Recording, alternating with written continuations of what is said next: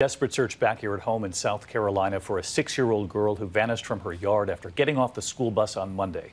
Tonight, police releasing this surveillance video now showing her on that bus and then getting off, one of the last times she was seen. And tonight, authorities have now locked down her neighborhood going door to door, and they were asked why they did not issue an Amber Alert. Here's ABC's Ariel Reshef tonight. Tonight, this newly released surveillance video showing one of the last moments six year old Faye Swetlik was seen before vanishing. I want my baby back. We gotta find her.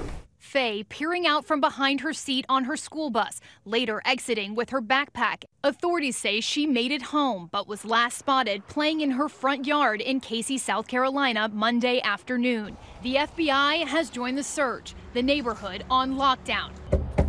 Officers knocking on doors and searching homes, police helicopters hovering above, officials asking for any videos that may have captured what happened to the little girl. Our investigators are working around the clock to go through those videos and look for leads and information that will lead us to bringing Faye home. David, police say an Amber Alert was not issued because there is no evidence that Faye was abducted, and they stress her family is cooperating with investigators. David? All right, Ariel, thank you. Hi, everyone. George Stephanopoulos here. Thanks for checking out the ABC News YouTube channel. If you'd like to get more videos, show highlights, and watch live event coverage, click on the right over here to subscribe to our channel. And don't forget to download the ABC News app for breaking news alerts. Thanks for watching.